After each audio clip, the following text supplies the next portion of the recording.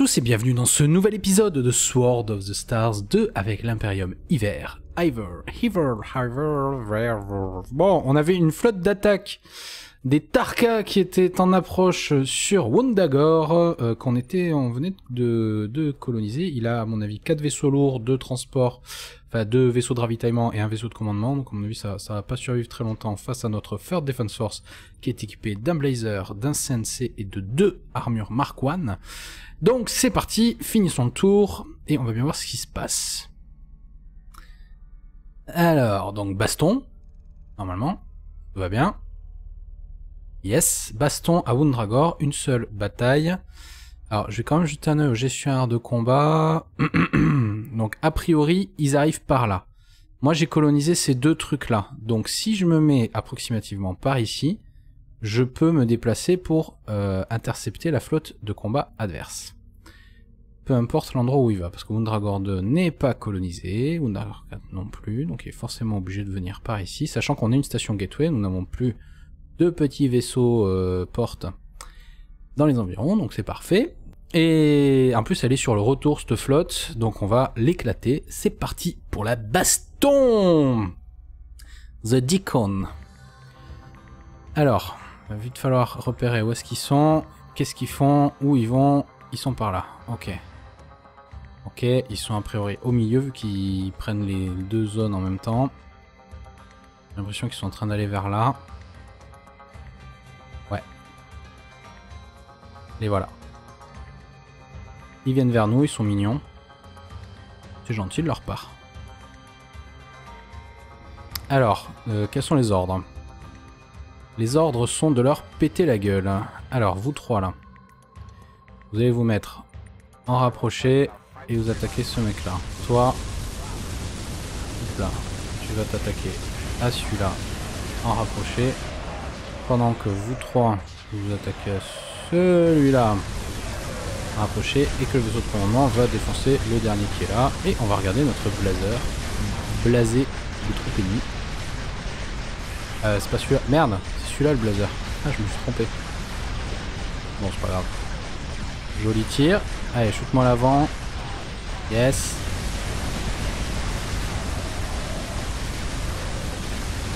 Non, l'avant. La... Tire l'avant. Tire sur devant. Ou l'arrière, ça marche aussi, mais... Pas le milieu, quoi. Et d'ailleurs, en étant de côté... Ah, ben voilà, ça y est. Donc, as, maintenant, t'as qu'à me tirer sur celui-là en bas, là. Il a l'air l'air marrant. Allez, tourne-toi. Pourquoi tu te tournes pas? Ah mais attendez. Face. Voilà. Ah mais non. Il est bloqué parce qu'il y a les autres dans le coin Non mais attendez, attendez. On va passer déjà. Voilà, en supérieur. Ça y est, il se tourne. Voilà. Boum Et il est pas mort Et il est fait en adamantium ou quoi ce truc? Voilà non, tu me shootes celui-là.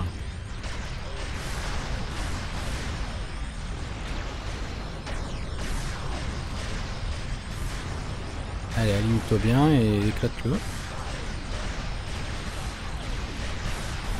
D'ailleurs, je vois, je vois ses copains là-bas.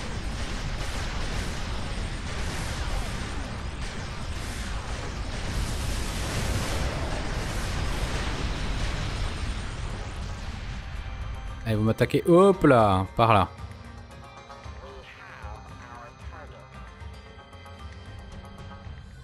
Et vous voyez, ces profils de pénétration, ça, ce sont des vaisseaux alliés qui nous ont tiré dessus. C'est assez blasant quand même. Hein. bon, allez, vaisseau de commandement. Et pendant que les autres, ils font mieux avec le reste, quoi.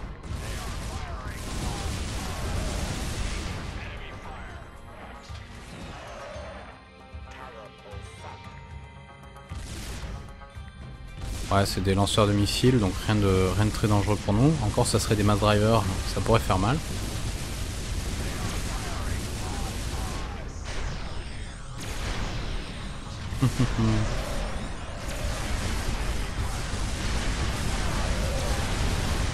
Je les tire sur la tourelle.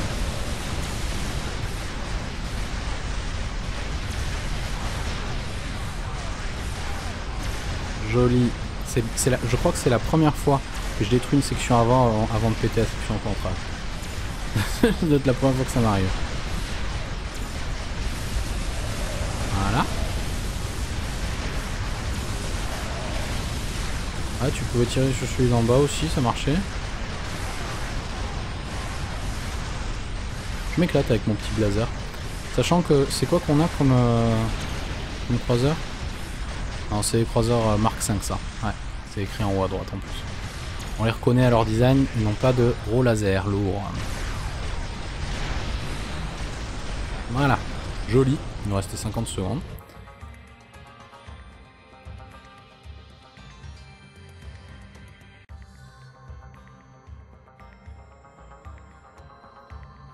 va bien arriver un moment où ils vont avoir des problèmes économiques quand même, ces gens-là, avec tout ce qu'on leur pète. Alors, colonie établie sur Tupil. Ouh, ça va nous coûter cher, ça. Colonie établie sur Tiamat. Euh, il y avait déjà de l'infrastructure ici. Et ouais, ça, ça va nous coûter très cher aussi. Donc, euh, ah, une nouvelle flotte qui arrive sur Wester et une qui arrive sur Cor... Orcus. Donc ça, on a déjà normalement une flotte, la Force Defense Force, qui est en patrouille. On va voir si on peut faire patrouiller peut-être la seconde Defense Force, du coup. Euh, elle est où la seconde? Vu que la troisième vient de faire un combat. Non, bon, ça va être la troisième, du coup. Confirmer sortir. Je vais juste vite fait jeter un œil sur Woundragor. Ouais, j'ai l'impression qu'ils sont déjà réparés. Aucun problème pour eux, nickel. Station civile a été upgradée. Donc, on a du boulot dans ce cas-là. On va tout maxer. Voilà. Et on va... D'ailleurs, ce truc-là, encore en train de construire, ok. Et en termes de commerce... Ah oui, mais c'est parce que j'avais tout dans la production, ici, c'est vrai. Je sais même pas pourquoi j'ai upgradé ce truc, en fait, ça servait à rien. station civile. C'était pas plutôt euh, la station navale que je voulais upgrader à l'origine? Bon, c'est pas grave. Ah, sur Tiamat, ah, on a un caster ici maintenant, cool. Euh, ça serait bien s'il y avait un... Il y a un bouton upgrade auto, c'est sympa, mais ça serait encore mieux s'il y avait un bouton upgrade all.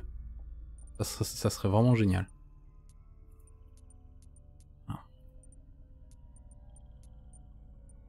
Donc ça, on les attend. On a une science station sur Octan, parfait. Donc dock et habitation, ça c'est normal. C'est un labo de torpille ici. On va on va continuer à améliorer du coup. Et les capteurs surtout, ça va augmenter notre portée de euh, détection. Bon, là où il se situe, c'est pas forcément euh, stratégique, mais notre portée radar, vous voyez, ça nous permet de voir d'où viennent les ennemis. Ça, c'est quand même vachement utile, quoi.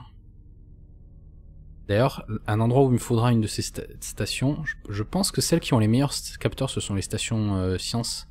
Je pense qu'on en mettra sur une sur Sirma pour essayer d'avoir la plus grosse portée, parce que ça nous permettra de voir tout ce qui vient de la part de The Sleepless ici. Et on en mettra aussi une sur Wundragor, une fois que, les colonies se seront développées. On va on est à combien ici? 92, il reste, ça va aller, ça va aller vite. Et ici, il nous reste plus, ah ben on est, on est bon, on a tout fait comme il faut, correctement. Alors du coup, en termes de gestion station, tout a été est en train d'être construit. Ok, les trucs de base du coup. Ok, donc on a tout dans le commerce. Il n'y a plus qu'à attendre que ça se développe. Après, une station science sur top. C'est vrai qu'on avait bien upgradé nos stations science ces derniers temps. On est à 40 millions de trésorerie. Oh my god. Ça va, on peut y aller, on peut se faire plaisir. Euh, c'est quoi ici? Labo Warhead. Ok. Et nos capteurs. Confirmé. Retrait des vaisseaux a été détruit. Ça, c'est ce qu'on vient de détruire. Corvus. Ouh, c'est qu'il y a de la place à Corvus. Quoi comme planète ici?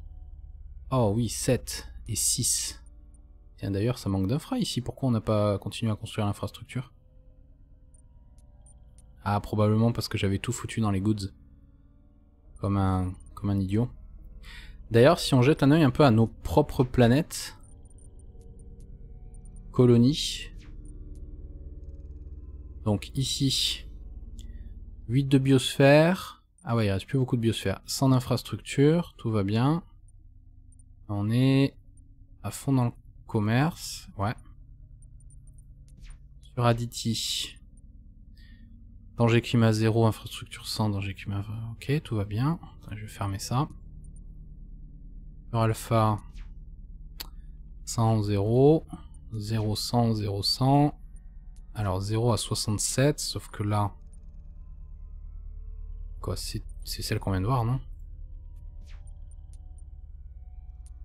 Ah non, c'est moi qui ai fumé. J'ai pas regardé le bon truc. Ah, ça pourrait pas garder le filtre? Ça, c'est pas pratique, c'est dommage. Donc c'était sur Cetus. Qu'est-ce que j'avais mal vu? Ah oui, non, c'était le taux économique, pardon. Voilà, c'est celui-là. Infrastructure, ok, parfait. Sans, sans infrastructure, sans infra, je vérifie vite fait, hein. sans infra, sans infra, en 29 d'infra. Non mais là c'est parce qu'on terraforme. 42 d'infra, on est encore en train de terraformer. Sans sens. Oh, qu'est-ce que j'ai fait? Merde. Ça, je veux le remettre à... Ah, c'est dommage, si je clique, ça me l'ouvre pas. Avec l'autre truc, ça, serait, ça aurait été pratique. Euh, donc on est balanced ici. Pourquoi on met pas tout dans le commerce? Parce que là, c'est de la construction, c'est Procyon, on s'en fout un peu de Procyon. Ouais. Et on diminue la construction, ok. Et ici, on a quoi comme station? Une petite way station avec deux docks. Pas suffisant ça. Et effectivement là... Ah ouais mais d'accord. Parce que les, la population civile ne s'est pas encore très développée. C'est pour ça qu'on a si peu de commerce. Ah, pourtant on est à 400 000 ici, 100 000 et 200... Ah ouais non mais c'est toute petite planète, d'accord. Bon, allez, on va vite fait faire finir le tour quand même. Serenity, 100, 100. Shagai, 100, 100. Jandor. Oh, merde c'est pénible. Ici, infrastructure 21, mais ça, c'est parce qu'on vient de le, de, le, de le coloniser. Top, 100 et 100. Tupil, 100 et 23, mais là, on est encore en train de coloniser. Par contre, putain, le budget colonisation qu'on doit avoir en ce moment, euh, il doit faire mal. Très mal. On va voir notre colonisation, combien elle nous coûte. Je dirais 500 000. 373 000, ça va. Ça reste, euh, ça reste gérable. On a beaucoup d'engagement en termes de construction. 9 millions d'engagements financiers, c'est-à-dire qu'il y a au moins 6 millions ici, vu qu'il y a 3 millions ici. Mais bon, ça va, c'est à chaque tour. Euh, c'est ça, qui est dommage, ça vous montre pas à chaque tour euh, combien ça va réellement vous coûter. ouais, c'est pas mal du tout et on gagne quand même de l'argent, surtout qu'on se fait 400 000 rien que dans les intérêts d'épargne. Rien que les intérêts de notre épargne payent le coût de nos colonies. C'est pas beau ça Bon allez, passe au tour suivant. Je pense pas qu'on va se battre ce tour-ci, à moins qu'il y ait une rencontre aléatoire. Je pense pas que eux vont arriver. Remarque, ils ont l'antimatière maintenant, donc ça veut dire qu'ils se déplacent vite. Hein. Heureusement que je les vois venir. C'est bien ce que je pensais. Alors la support fleet vient de rentrer. Ah oui, c'est vrai qu'on l'avait déployé. on a plein de flottes qui sont dispo. Alors la support fleet, je vais la faire patrouiller dans Wester. Alors pourquoi est-ce que je fais ça? Tout simplement parce que le fait d'avoir des repair and salvage, le salvage, ça permet en fait de, récupérer les, coques des vaisseaux qu'on détruit. Et on a une très faible, mais chance quand même, euh, de récupérer ce qu'on appelle des projets de recherche de salvage euh, qui, nous permettent d'avoir des, des, technologies spéciales. Donc ça vaut toujours le coup d'avoir euh, dans le coin ce genre de choses. Tiens, les Tarkas reviennent à Undragor, ils veulent vraiment le récupérer. C'est une flotte de surveille qui est en mode attaque. Il m'envoie ses flottes de surveille pour m'attaquer. J'ai pas trop de quoi m'inquiéter, je pense. Hein. Ok, support to Orcus. Ouais, là par contre cette planète se fait attaquer, ils se font tuer tout de suite. Hein. Sur Wester, on a quoi comme planète? Ça, ça peut aller. Hein. C'est quoi comme taille? Taille 3, donc ça va grossir mais un peu pas trop quand même, et taille 5. Alors, flotte de construction qui vient de rentrer. Donc ce que je voulais faire, donc je, le fais tout de suite, c'était Asirma. On va construire une station. J'ai plein, de, plein de flottes disponibles. Donc science. Confirmé. Sur Corvus, j'ai la place. On va faire une station diplomatique. Voilà. Et ensuite, j'avais dit sur Wundagore. Ah, mais j'ai pas, pas la place. J'ai déjà fait la station civile. Sur Orcus, on pourrait faire une station science sur Orcus. Ouais, mais non, non, on va faire une station civile ici pour le moment. Quand ça va grossir, on passera à l'autre niveau. Ok. Et sur Wester, qu'est-ce qu'on a? On a de la place, station civile. Prioritaire, l'économie, c'est prioritaire. Voilà. Station navale a été mise à niveau, yes Donc Serenity, Forward Base, on augmente tout. 8 entrepôts. Et ça c'est augmenté. Ah non, il manque des choses ici. Voilà. Donc ça, on l'attend. On a trois attaques en gros et on les attend. Je pense que les trois ça va être pour euh, cet épisode et le prochain. Donc ça, on l'a renvoyé au boulot. C'est bon.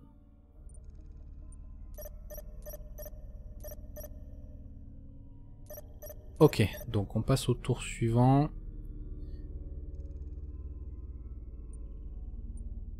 Et diminue encore un petit peu le budget recherche. Parce que là, on est vraiment très très près de la fin. Et je vérifie juste que, voilà, je suis jamais certain que la sécurité soit bien sur l'encoche, surtout quand on le fait depuis l'autre interface. C'est un, franchement, ça, ça fait partie des petites choses pénibles de Sword of the Stars 2. C'est le genre de choses qui pourrit un peu ton expérience, quoi. Enfin, c'est pas que ça l'a pourri, mais voilà, ça serait mieux si ça y était pas.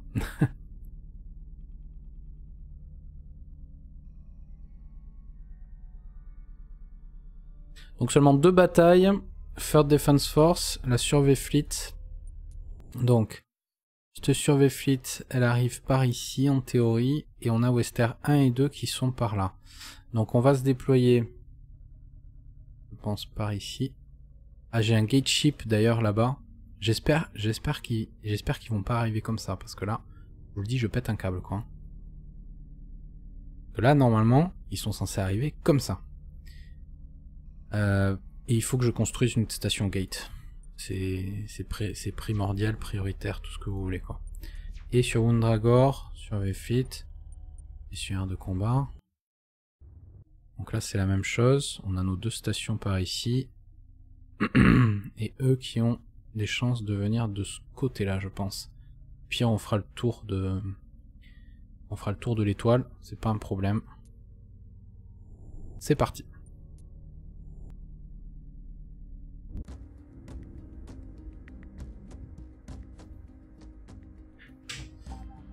Alors, euh, ils sont là. C'est bien ce que. Donc c'était bien ça. Les voilà.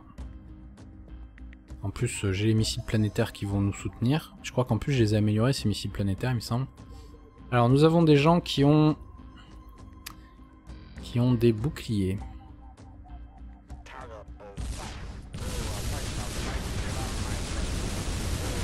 Et nous avons... Ouh, ils ont des grosses torpilles, dites-moi.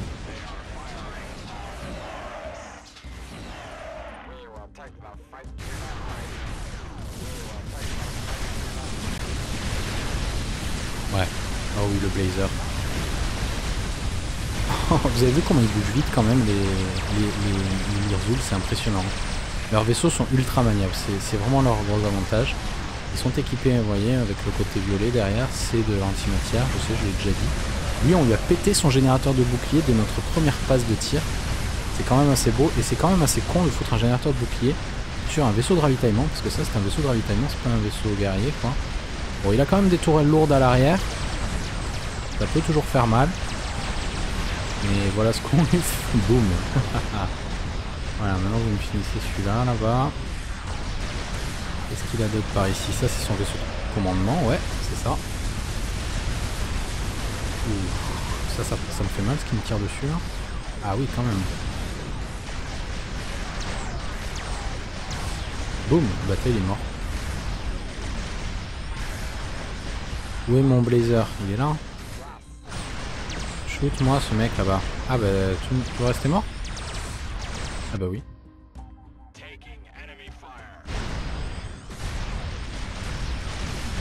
Bon bah voilà, bah écoutez, le temps que ce truc là se détruise, je vais vous dire euh, merci à tous d'avoir rejoint cet épisode. On va faire un break euh, en attendant qu'il soit détruit, s'il vous plaît. Détruit, détruit, allez.